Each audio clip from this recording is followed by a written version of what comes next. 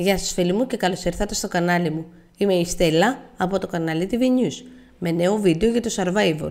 Όπως είδατε και από τον τίτλο θα σας πω ποιος παίκτης φαίνεται να αποχωρεί σήμερα 9 Μαΐου από το παιχνίδι. Ας τα πάρουμε τα πράγματα από την αρχή. Δύο ασυλίες έχει κερδίσει η μπλε ομάδα και δύο η κόκκινη ομάδα. Οι υποψήφοι προς αποχώρηση είναι ο Σταμάτης Ταλαδιανός, ο οποίος είναι και ο μόνος άντρας, η Σταυρούλα Χρυσαίδη, η οποία έχει ζητήσει να ψηφιστεί, η Ασημίνα Χατζιανδρέου, αλλά και η Δώρα η Νικολή. Τέσσερις οι υποψήφοι. Βάσει στατιστικών, η Σταυρούλα μαζί με την Ασημίνα είναι πολύ πιο ψηλά στην κατάταξη από ότι ο Σταμάτης και η Δώρα. Άρα λοιπόν φαίνεται ότι η Δώρα μαζί με το Σταμάτη θα παλέψουν και την παραμονή τους. Εμένα αν με ρωτάτε την εκτίμησή μου εδώ από το κανάλι TV News, φυσικά περιμένω και τα δικά σας σχόλια, πιστεύω ότι ένα μικρό προβάδισμα για να μένεις στο παιχνίδι έχει ο Σταμάτης ο Ταλαντιανός. Πιστεύω ότι η δώρα θα φύγει αυτή τη φορά.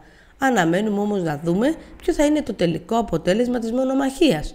Αν σας άρεσε και αυτό το βίντεο, πατήστε like, κάντε την εγγραφή σας και μην ξεχνάτε το καμπανάκι. Να είστε καλά φίλοι μου. Γεια σας!